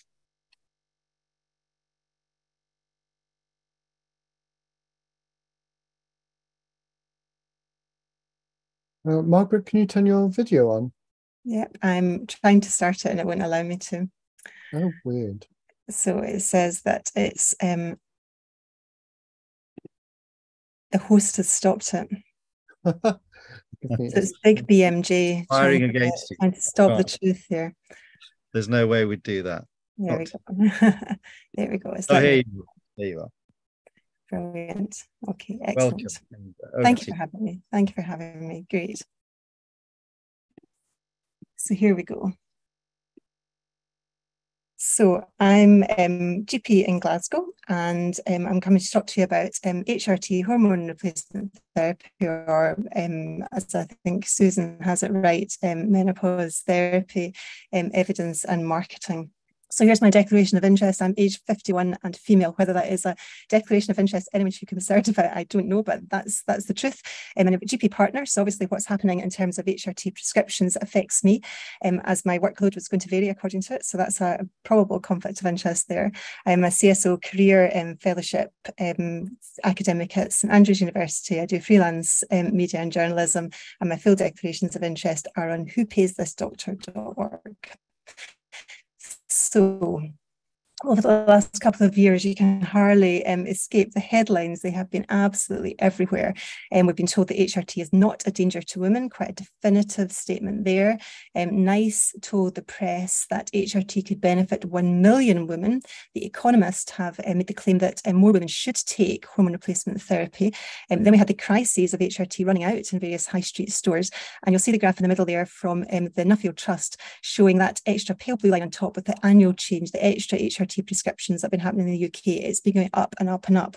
And at the same time, we've had lots of claims saying that HRT has health benefits beyond the menopause. So it has barely been out of the press. And we know there's lots of evidence for lots of conditions that what happens in the media has an effect on what the decisions are around health that people choose and make. So big publicity for the all-party parliamentary group on menopause back in October, which I wrote about for the BMJ. And I was really um, impressed by the amount of media coverage that this report got. And the conclusions um, from it were, um, were pretty stark, um, basically saying that despite the evidence on the safe and effective use of HRT to manage symptoms, misconceptions around its usage and the perceptions of the dangers strongly prevail amongst women and healthcare professionals. So really a pitch there to be getting more more women to take it and more professionals to prescribe it. Um, they were um, advocating that screenings of women over a certain age, I'm certainly in that bracket, could help improve diagnosis and treatment of menopause at an earlier stage. So really that's a pitch for every um, woman in Britain to be um, have some kind of intervention with a healthcare professional, which she would be um, assessed for or offered um, therapy for something that she may or may not be having symptoms from. They also made the claim that um, the MHRA should evaluate the evidence for testosterone with a view of getting this essential treatment option licensed in the UK. Now, from my reading of things, I don't think these are neutral statements. I think these are statements that are very much on the side of more HRT is better HRT. Now, it might be, it might not be, but I can't help but notice the fact that this report was researched by DGA, who are a public relations company, and funded by Bristol Myers Squibb and Astellas Pharma. So my concern is that that fact was hardly reported, if at all, in the wide, in the wide press coverage that this report received. And I think that's important information that I would like to have known in order to interpret what the recommendations of that report were making. So on the left, we've got what NICE say are the indications for HRT. And on the right, we've got what the British National Formulary via the Medicines and Healthcare Regulatory Authority have to say about the indications for HRT. So NICE um, quite plainly say vasomotor symptoms, psychological symptoms, altered sexual function, and urogenital atrophy as indications for HRT. And in the BNF, um, it talks about the, um, and I'll just put down in particular, HRT does not prevent coronary artery disease or protect against the decline in cognitive function, and it should not be prescribed for these purposes. Experience of treating women over 65 years with HRT is limited. So, pretty clear statements there, and also making quite clear that there are risks in association with HRT treatments. And it's really important if you're ever making a decision about a medical intervention to have good, open, transparent, fair information. And I think these are good examples of fair information. However, I spent a couple of hours this morning on Google and I Googled um, private HRT and HRT wellbeing. And I, have found lots and lots of private um, clinics, um, lots of organisations offering HRT out with the NHS. And I looked at claims that were being made for treatment of, of um, menopause using HRT. And this is um, treatment of um, normal menopause rather than premature menopause. And these were the kinds of claims I found that HRT was being offered to treat or improve on private um, organisation websites. So we've got wrinkled skin, dry skin, constipation, diarrhea, indigestion, itchy skin and scalp, weight management. Um, it was being offered for glowing skin, thicker, glossier hair to live longer for premature aging and in order to help stop heart disease. And these were all on websites which could prescribe HRT. There was somebody attached to these websites with a prescription qualification. So just rewind, let's have a look and see what the evidence says about changes in quality of life with HRT. Now, I think there's very little, no dispute at all that HRT really helps with vasomotor symptoms, hot flushes, night sweats, and insomnia. Here's a good randomized controlled trial, that randomized um, women with, um, with women in normal in the menopausal age, so not premature menopause, um, to either HRT or placebo, published in the BMJ. And you'll find really significant improvements for those top three symptoms. But look down the other ones feeling depressed, feeling anxious, dizziness, aching joints or muscles, tiredness, and headache. We really can't say with any degree of certainty that we can offer HRT as a treatment for those symptoms. And that's important information, I think, for women to know. And just of note, those clinics that I looked at that were offering HRT for all these other things, and you know, uh, you know, and I'm not saying all these clinics were, but certainly some of them were, were getting into the realms of menopause marketing. So you're a menopausal woman, you've come to us because you're not feeling good.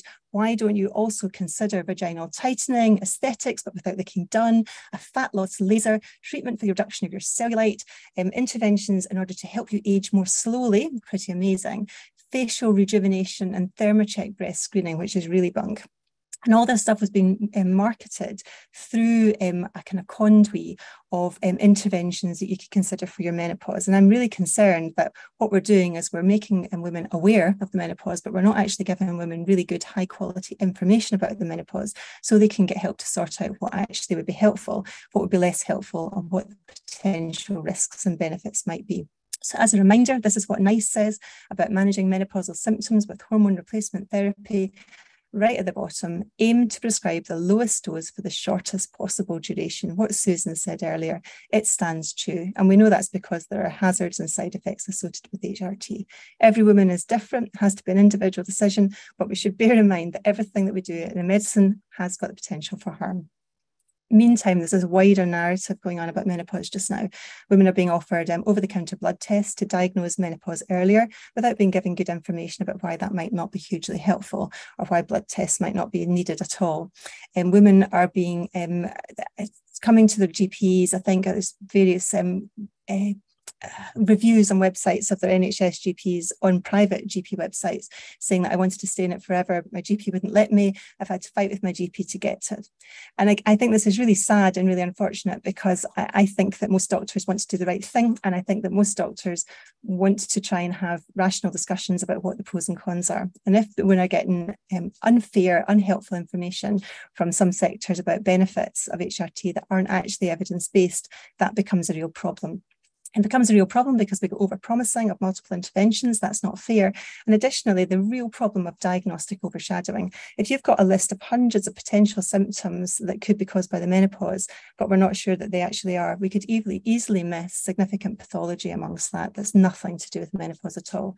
And as Claire pointed out earlier, um, there's lots of people offering workplace solutions for the menopause. This is very much like the resilience treatments or interventions offered so often by the NHS. Instead of fixing the actual problem, problems and we tell individuals to sort themselves out and take on responsibility for problems that they may not have um, total control over. The other concern that I have is the lack of truly independent information out there.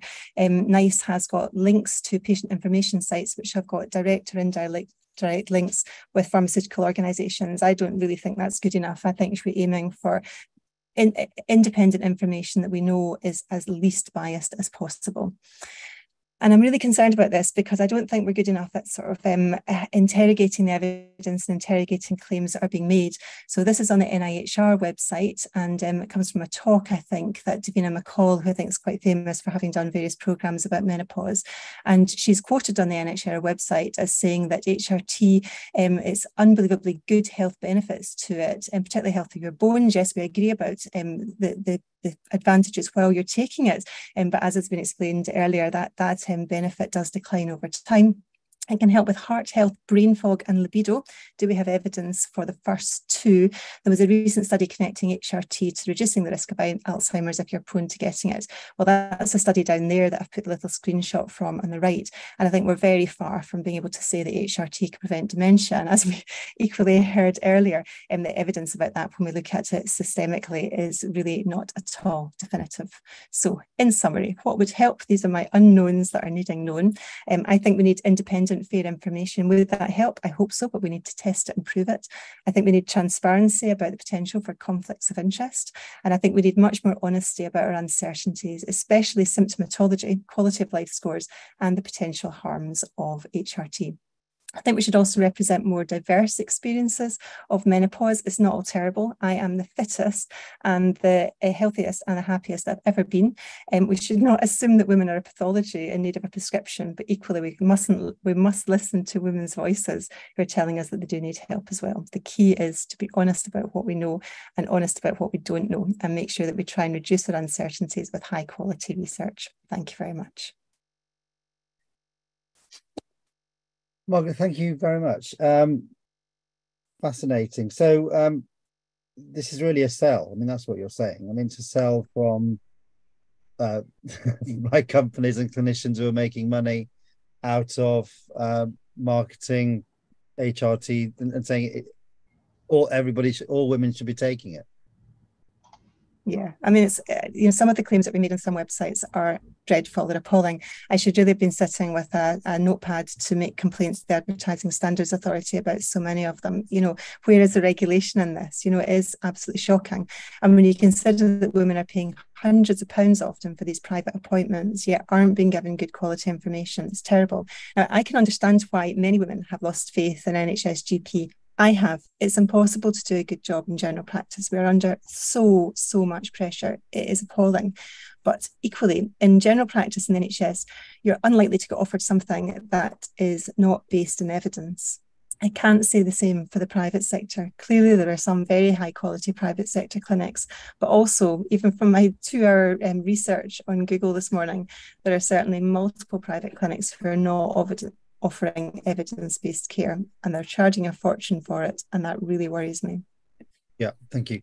Um, so, Susan, if we look at what we've heard uh, this afternoon, we had Martha telling us, know, it's, it's indiv- there's individualized risk. I think that was what, what we discussed at the end of Martha's uh, uh, talk. Then we talked. Then um, after Jill had spoken, there was the whole issue of well, you know, it's a it's understanding the risk profile is quite complicated, and so even then when you're talking to women on a one-to-one basis, it's quite hard to uh, to arrive at a particular uh, decision in terms of whether or not to take HRT.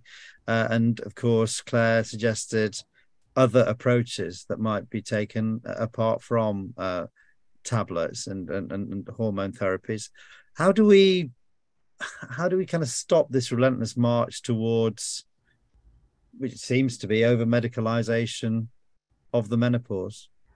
Uh, well, I wish we knew the answer to that because it's not the menopause alone that is over medicalized. I mean, for me, who went through a time, um, you know, in the 80s where all my bosses were being flown to Switzerland on skiing holidays by the menopause companies, uh, and the narrative was much stronger then, although it's reappeared, that all women are diseased. They have this thing called estrogen deficiency.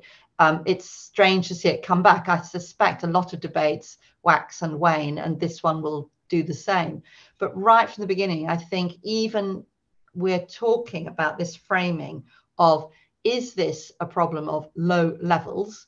Um, the answer is no, they're new levels, which are low, like children have low levels, and the symptoms pass.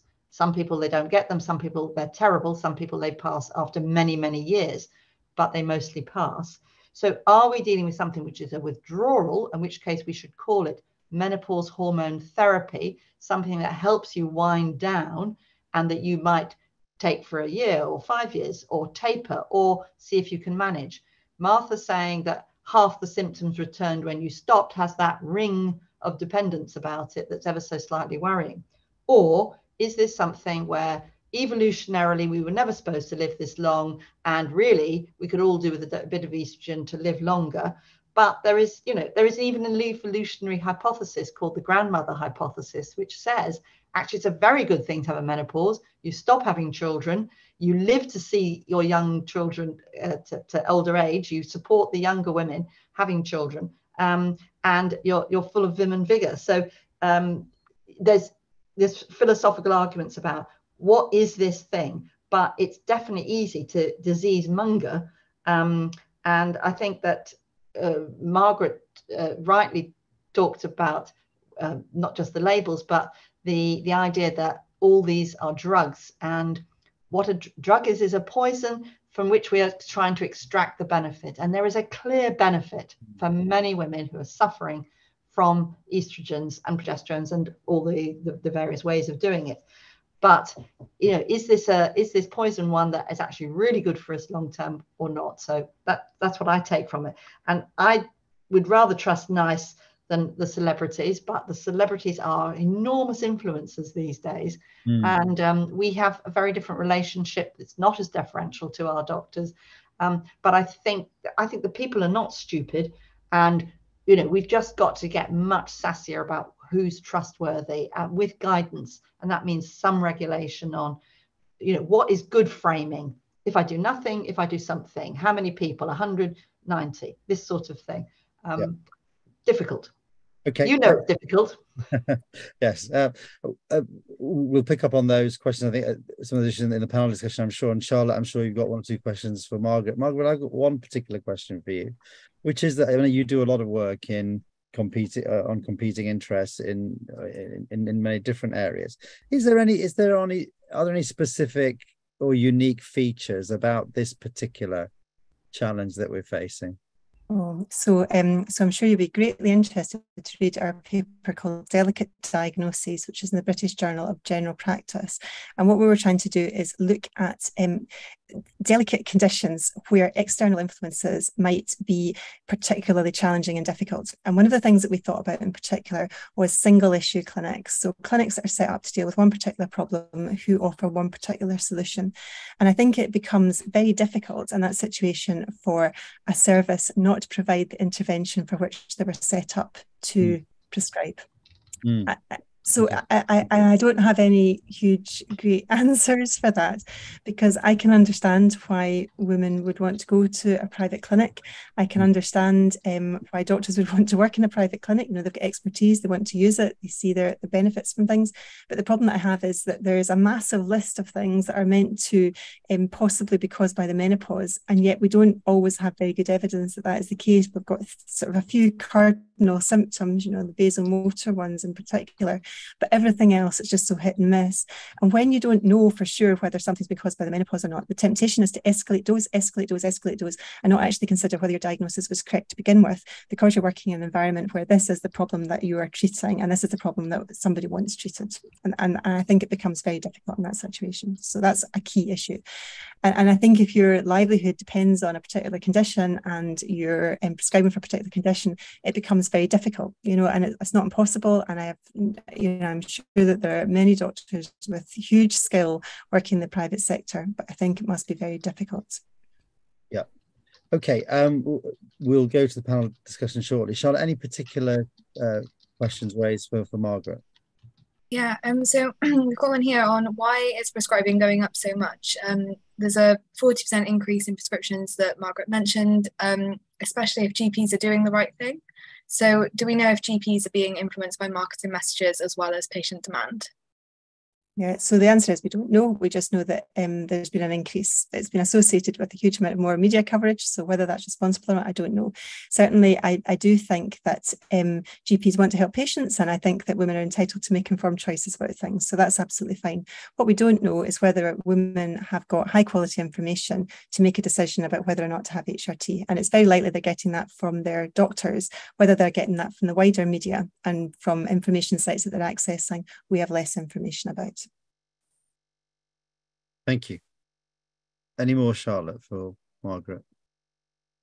Um, yeah, so um, surely these issues are kind of not just specific to HRT, but um, general, so sort of private versus public versus pharma guidelines and practice. Um, so should we push any kind of regulations wider than just for HRT? Yeah, I mean, my, my classic um, example of this is, um, and, and I, I want to say that I'm, I'm putting private under a big umbrella. Like there are clearly very high quality private organisations, you know, who are doing things very well and are, you know, cognizant of guidelines and are not doing anything um, sort of silly. So I'm not wanting to tar the same brush here. That would be really unfair.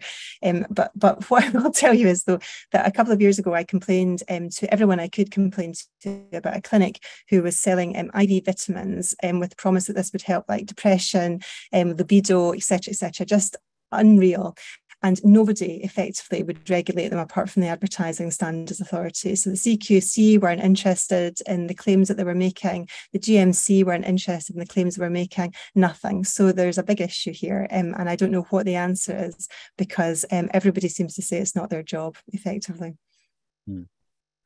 Okay, Margaret, stay with us because we'll continue the conversation. Charlotte, I'm going to give you a moment just to try and grapple with the rest of the questions that, that are coming in. Then we'll put them to the. We'll welcome our panel back shortly. Susan, now you're going to bravely try to summarize, you know, what we think we've heard so far. Um, well, I don't think I need to summarize it. um, we've because people can watch the. I think they can watch this again um, but we, we've got a lot we don't know. Um, it, the, the, the, things that we have on offer are a lot better than when I was a student or my mother was uh, going through her menopause. So I think we have a lot more tools at our disposal and a lot more choices around a dosing or trying this or that or trying CBT or sleep, sleep hygiene. So in one way, we've we've got a plethora of things to do. That still gives the problem of what will work for me and how can I tell whether the information is is trustworthy or not? Um, and one of the things that there's a consultation going on in government at the moment is about whether all uh, industry uh, will have to declare who it pays money to as individuals. And I think that's a useful piece of information. Why might you be telling me this? Are you an unbiased person or are you someone who who benefits from the, the actions? And I think transparency, whether it's transparent information on uh, you know, in, in, academia or transparent information on declaration of interest is, is always going to be helpful. So I would think that the internet is a wonderful thing, but it needs to be tidied up a bit with transparency. Yeah. Okay, good. Um, right, let's welcome our, our panel back. So um, Claire, are you still there? Are you still with us? If so, turn your video back on. Oh, there she is. Um, and also, I'm assuming we haven't got Martha because Martha did say she might try and join us. Um, and then Charlotte, are you back in the room? Yes, I am. okay, so let's have a few questions for the panel. Okay, great. Um, so we'll start with what tools would you recommend for assessing symptoms of menopause and quality of life that can be used in clinical and workplace settings and in research? Um, and then kind of following on from that, have those tools been evaluated um, and against which gold standard? Okay, who'd like to take that? Jill? Uh, it's not really um, it's not really my field, I'm afraid. Um, I, you know, that's something that I think probably, you know, people working in primary care research would have a better idea on. Um, I don't know if Margaret might have some information. No. I'm delighted to return to this one, Joe. That's a diff- very difficult question. Margaret, maybe. and then Claire, possibly then perhaps Susan will save the day by knowing the answer. Hmm. I mean, there are I mean, there are definitions about how to diagnose menopause. You know, NICE give those definitions there. You know, they, they do exist and you can use them. Whether everyone agrees that they are suitable and helpful or not is, is quite another matter. But but they are they do exist. You know, they are there, and there are lots of tools that have been validated in different ways. Some international data, I think, you know, there's little bits of changes here and there but you know that there, there is stuff that's in that's defined in the guidance yeah there, there, there definitely are clear definitions out there yeah, well, there's a 2020 protocol. I've just Googled, Dr. Google helped me here, uh, looking at a, what's called a Crown initiative that's trying to make all researchers work to the same agreed outcomes that matter to, to the patients. And that was 2020. So I don't think we've got an agreed outcome definition. And I don't think I've ever seen that there's been a James Lind Alliance, which is where the known unknowns are turned into research questions. What is it that women actually want to know? Um, so, um, but there are scores, yep. Okay, Claire, is anything in the workplace? What are there tools available in the workplace? You're on mute.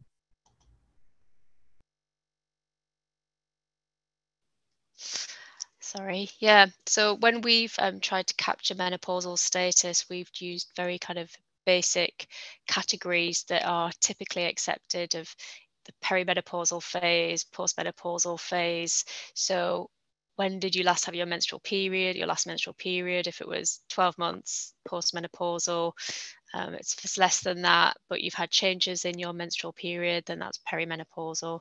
Um, and then usually, you know, of a certain age. So, but there are there are different measures. Even when you look at the reviews of the studies, there are different um, menopausal. Sim- they call them menopausal symptoms, but then are they menopausal symptoms or are they something else? So I think sometimes they can get confusing between other general health symptoms um, and what are menopause and what are not. It's it's yeah, it's it's big, big big question. Okay, well I think we haven't been.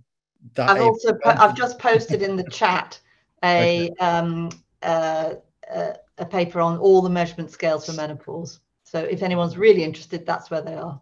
Okay, so there are some scales there, but it's part of unknown. I mean, known unknowns that we don't have all the answers. I mean, that's that's what we have to accept. Okay, Charlotte, thank you for that question. How about the next one? Um, yeah, so the next one we've got in um, asks Is HRT used in Africa and what effect does it have on women? Do we have data on the cultural differences and experiences of menopause? Yeah, I think this was. I saw a couple of questions around this, which is people saying, presumably, whatever we know already is, uh, like most research, is done in uh, in, in, in Western set, in, in European or North American settings, do we have data from other populations?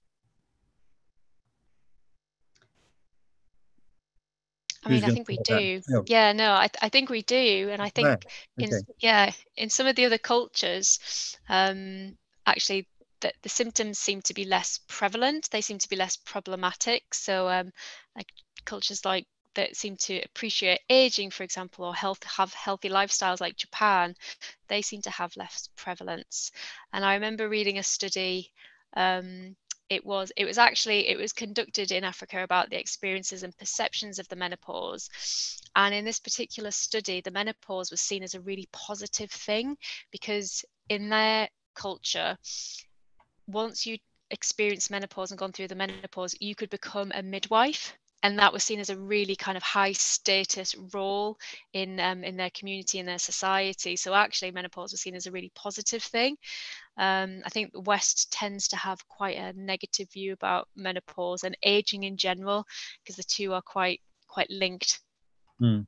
But equally, I guess in, in some cultures there'll be underreporting, uh, you know, of, uh, of how people are feeling and, and, symptoms because culturally, you know, the voice of women is even, you know, less mm-hmm. in other parts of the world. Jill, I mean, I presume all the, the trials and studies you mentioned, they will be in uh, yeah, I mean, US like, uh, settings. Yeah, I mean, like all sort of, or most epidemiological studies, unfortunately, you know, sort of ethnic minority groups and, you know, are, are not very well represented and, and same for the, the trials. Um, and and that's something that sort of plagues a lot of the data that we look at. I mean, there there has been some analyses by um, by ethnic um, groups within the, the Women's Health Initiative, and actually, if I remember rightly, they did find some differences. I think for for the effects of of HRT on stroke risk, um, with with higher relative risks in in women of black um, ethnic, you know, um, minorities. So there is some data, but it's really sparse. Um, and so, you know, we, we, could do with a bit more data actually in, in those groups. Thank you. Does anybody want to add anything to that? Uh, just uh, just saying, uh, skimming PubMed, um, we can find uh, formal scales where people have been asked uh, in clinics in Ethiopia, for example, and the numbers are looking like those 10% for urogenital hot flashes, things like that. They don't look fantastically different, but in Britain it does look as though black women have more symptoms. Um, so I, you know, watch that watch that space. It should be filled. Yeah. Thank you, Charlotte. Great. Um, the next question is Is there any reliable evidence for the use of testosterone, short and long term benefits and risks? okay. Um, Margaret? I had a horrible feeling you were going you were looking at me. you saw me looking at you. Yeah, yeah. so nicer, nicer reviewing this just now. So I'm hoping that they'll do a proper systematic review and will let us know kind of one way or the other. So certainly, you know, it is in the guidelines. It is used for women who are on HRT and who have low libido despite being on HRT. So there is a method of prescribing it there. Um, and beyond that and, and it's a small difference that, that, it makes it's not a massive difference. So we await NICE's review of all the evidence to let us know. Again i just really worry that some of the claims are made for testosterone are well in excess of what the evidence-based benefits are that can be delivered. And that means that we are at risk i think of overinflating our claims. And that means then failing to actually investigate other options, investigate other avenues, consider what might else be needed, necessary, needing to be researched or tested. You know, it's um, there's a difference, I think, between um, no evidence for something working and a lack of evidence um, for whether something works or not. And I think that distinction is very much one of the one of the ones that we need to be quite clear about in, in these seminars, because I think we almost need, as Susan has said, you know, to generate something like the James Lind Alliance would, which is to identify the things that we wish we knew but yeah would anybody else like to add to that? Um, no, just to say, uh, I think we need to get the evidence properly curate, properly curated. I've been having lots of Twitter arguments with people about this, and um, whilst it does give a, uh, it seems to give some people a little bit of impression of something to the libido. Testosterone is a drug that has got a lot of new indications for middle-aged men, for young young people with gender identity issues, uh, now for women's sex lives to be improved, I'd be very anxious about the whole mythology that's going around about this. It might be a useful drug, it might be another of those poisons from which we can extract benefit in certain circumstances using the lowest dose for the shortest period of time. Um, but I, I would, I would await NICE. I mean, when we published a series of articles by somebody called Ray Moynihan, who's an Australian journalist about, about 20 years ago on manufacturing disease, um, female sexual dysfunction was one of the prime examples that we used about how industry was manufacturing that as a disease to then uh, sell treatments for. And so um, this may well be a way of, of, of, of, of getting back into that particular debate. Um, okay. I, I, sorry, can I just Yeah. comment on that? I mean, I Yeah. find it quite interesting. This, this, um, you know, the question of, of is there evidence for the effects of these um, of being prescribed testosterone? And actually, I think most people associate estrogens with um, hormone-sensitive cancers in women, but actually, there's there's a very large um, piece of work which looked at endogenous sex hormones in relation to breast cancer risk, and what it found was that it's not just estrogens that are associated with with breast cancer risk but actually testosterone levels as well. And of course the two are are correlated. Um, but you know it did look in that analysis as if testosterone itself might have an independent effect on on breast cancer risk. So i'm just saying that you know because I, I find that you know quite interesting when people are talking about you know women starting to be prescribed testosterone for for low libido um, I, I, don't think people necessarily make a connection with endogenous testosterone and, and female cancers, but you know there is some evidence there to suggest that it may actually be associated. Okay, thank you, Charlotte. Um, so we've got a question asking, what does the panel think about HRT and contraception being prescribed by pharmacies and competing interests now with the increase in prescribing abilities given to our colleagues? Okay. Um, who'd like to take that? Um, it's another prescriber question. I mean, Margaret, you're prescribing. Sorry to do this to you. Yeah, um, so so I think that the HRT that can be prescribed from um, pharmacies, or I think the one that's been able to be purchased over the counter from pharmacies is local um, vaginal estrogen. So that doesn't really count as um, systemic um, HRT. So it's much lower risk for side effects, and um, you know, so I think that's not HRT per se, and probably will help some women. May not help other women. Um, you know, it, it's um, there are unfortunately a lot of women that end up buying a huge amount of Canesten over the counter because they keep thinking they've got vaginal thrush because they've got itch and discomfort. But actually, if they'd have got the opportunity to speak to a healthcare professional, they might have been able to get a diagnosis of um, vaginal atrophy or you know menopause-related um, symptoms with a better treatment available for them. So certainly there's that. In terms of contraception availability um, over the counter, I mean, you know already women get contraception from a variety of venues. Um, the importance is um, shared decision making, autonomy, um, respect for confidentiality, joined up healthcare so that um, you, are in a system where your needs are met and um, wherever they're best for you at that particular time. A bigger concern of mine is just about fragmentation within the NHS. So one part of the NHS doesn't know what's happening to you, and another part is prescribing for you at the same time. That's a big issue. Um, it seems to be getting worse rather than better, but I don't have any solutions for that. Um, but the, this idea about your GP record being your kind of cradle to grave, you know, depository of all the information about stuff that's happened to you is a hugely important thing, not just for you, but for research purposes as well, you know, at, at, various points. And if we lose that because of fragmentation within the system that doesn't talk to each other or join up, then I think we will lose a tremendous opportunity to understand where the benefits, harms, and risks are for women longer term.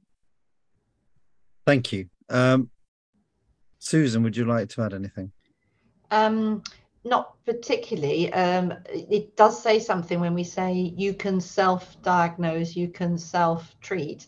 Um, there is a possibility of a pharmacist doing it to a protocol and therefore having more time, filling in the questions better, going through the risks, being given a decision aid to make sure that the woman has understood the risks and benefits. So I can see a standardization uh, argument for making this, uh, if it really is an easy, simple over the counter one off decision. If it's I'm taking a drug that um, I might take for life, uh, I, I, think that's quite a responsibility, um, both on the woman and the pharmacist, and well, I suppose the general practitioner normally. But um, uh, you know, I, I, and we'd have to evaluate it. Goodness me. Yeah. Um, and we've, you know, the amount of arguments we've had just on emergency contraception, a time limited, you know, occasional problem rather than this, which is going to be large numbers for long periods of time. Mm. I think it's that's it's a very complicated question. Yeah. Thank you. I think we'll, Charlotte, if you've got one more question, we'll take that. Then I'm going to go around the panel for a final comment, finishing with, with Susan, and then we'll close. Charlotte, do you have a more question for us? Yeah, um, so we've got a question, a kind of comment into a question here, which is that I think it's clear from what we've seen that there's little evidence for treatment of perimenopausal women, which should be corrected. We're worth the cost of the trials. So while I much prefer evidence-based treatment for myself, what am I meant to do when there is no evidence and apparently no appetite to generate it? Okay, well, this is the heart of the problem. Um, Jill, you tell us about the evidence. better research, more of it. But yeah, yeah. I mean, maybe the word lack of appetite for the trial is is was not quite correct. It's not to say that you know, as as researchers, we wouldn't like to see more evidence, particularly you know amongst the you know in in the context of you know is is this right for for you know there is there any sort of role for prevention um, but you know the, the, problem is that it is just very expensive to get these trials off the ground and um, I think you know there is scope for looking at some of these things in in large you know cohort studies, and certainly you know things like the the new sort of national cohort study that is going to be conducted or has already been started, our future health, which will have women recruited into it, you know, using much more sort of contemporary preparations, perhaps using it, you know, at, at different ages you know we may get valuable information from from that study. Um, but i agree it is a bit of a dilemma. I mean claire in your area i mean you, you even said it was you know, getting more research done addressing the right questions with the best methodological approach is you know is a challenge. It is. It yeah. is, but i think what what helps is when attention is drawn to it and if there's particular like government initiatives and reports and things that come out, if there are studies that come out, um, like in the UK, one of the biggest drivers of attention to menopause in the workplace was the um, Older Workers Report by Ros Altmann in 2015, which was talking about how to keep our workforce going into older age as we're an aging workforce. And one of the areas in there was the menopause that we really need to take that into consideration. And it was that kind of government report, that recognition that I think actually really pushed menopause and menopause in the workplace kind of there on the agenda. But we do really need to get some sort of funding into it to start actually saying, well, do you know what? Let's get this going. Or another solution is to try and make workplaces sign up to come together to actually start collecting this data, like what we were talking about before, and sharing their data so that we can start doing almost like a natural data collection method um, in and of itself, which could be cheaper um, and just and just keep it on going. Um, but we really do we really do need to to do something about it but i'm positive. I think i think we're going to do it. I think the more things like this and the more conversations and if everybody here talks to other people about it i think it will fuel energy. Um, and I, I think it will come. Okay good. Right we'll give you all 30 seconds in the in the order that you spoke. We'll give susan a, a little longer. Uh, she's going to hopefully try and draw this to a, a, a conclusion. Uh, jill Final thought. Um, final thoughts. Well, I, I found it um, really, really interesting to hear all the other speakers actually, and and you know a lot of what they've they've been saying resonate with me in the sense that you know what I see in in the media and in the papers is not necessarily you know what what I I think is reflected in the evidence, and I think you know coming back to this point about how can we get more research funded, I think we have to be really honest about what we really don't know um, and and you know that that's not really filtering through to to the the public at the moment. It feels like they're being told that you know everything is great, and actually there are some really major outstanding questions. And you know, bringing these to the fore, I think you know will only be useful for the future because that's the way that we can secure funding to really resolve some of these these issues.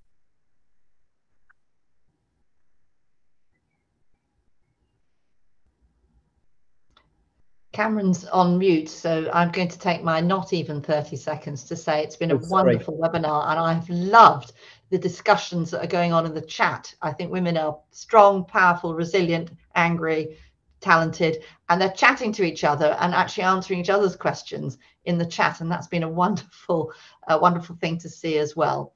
Uh, right. No other comments. Sorry, sorry about that. I went on chat on, on mute by accident. Um, Claire, final thoughts from you. Yeah, it's been really nice to kind of hear people talking about the evidence and what we know and what we don't know, and and just to keep that questioning approach of don't necessarily believe everything you see on the media and things that are out there. Like you know, it's it's it's important that we try and get the right information. And I kind of I feel for those who don't work in this area, who don't do research in this area, kind of the general public. How are they to know how are they to know what to believe and who to believe? If you can't believe davina mccall who could you know who can you who can you know where do we go from there you know? Yeah. um so no it's been really really interesting. I think it's been a really really good webinar and i yeah I, i've really enjoyed it so thank you. Thanks for participating. Margaret so I really enjoyed it. Great to um, listen to um, people's different perspectives and, and the, the chat as well, which I will go and read um, properly. But I would really love to see a situation where um, doctors and patients are on the same side here, you know, researchers, doctors and patients on the same side, establishing what our known unknowns are limiting bias, trying to avoid bias, and working together to try and reduce the uncertainty as much as we can. We should be on the same side, you know. And I think it's a great shame that there is so much hostility um, around this um, particular arena just now because it's so unnecessary. And ultimately, I think everybody wants the best, either yeah. for the patients or for each other. So presumably, doctors, patients, and companies, Margaret. No. okay. Um, so, Susan, I mean, what where do we go from here? Um, I think that, um, well, I think we're over time, and I'm not going to suggest. I just think that there's a couple of suggestions in the chat about women's sexuality um, and other questions that will be for your next webinar. Okay, okay, but I mean, if you were to summarize, I mean, where it seems to me that, yeah. as we discussed, we said previously, uh, all this talk of every, you know, all women should be on HRT to get them through the menopause is i mean it's not supported by the evidence i mean it needs no. to be on a case by case basis there's a yeah. delicate conversation about the balance of of of, of, of benefits and harms um, and you know and there's sort of acceptance that there are things that we know and think there's quite a lot we don't know as well so it's a it's a very nuanced conversation which isn't the way you would read it if you were to read um, you know most newspapers and even listen uh, to the radio or, or watch or watch people talk about it on the news. I think you've summed enough? it up. I think you've summed it up perfectly. Okay, thank listen. You.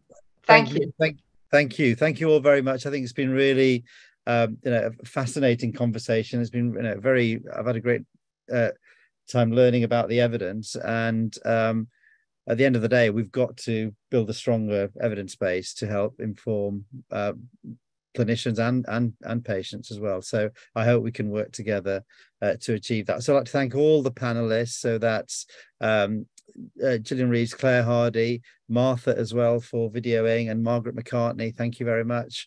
Uh, and most of all, Susan Bewley for summarising everything and being our co-host. I thank my colleagues, uh, George Davey Smith and uh, Allyson Pollock for marshalling the questions and putting the seminar, uh, this webinar together. And of course, Charlotte, who asked the questions, and Duncan, who made it happen for the BMJ. And most of all, the participants. Thank you for your really active participation uh, in the chat. It's been really uh, uh, rich and, and lively. And I think you know, this is an issue that, clearly and understandably um, many, many people care deeply about. And um, what are looking to health professionals and others to um, uh, help us get help us to address some of these known unknowns and i hope we can do that together. So thank you very much today and look forward to the next time. You can watch the video on YouTube, I hope sometime later today. Thank you.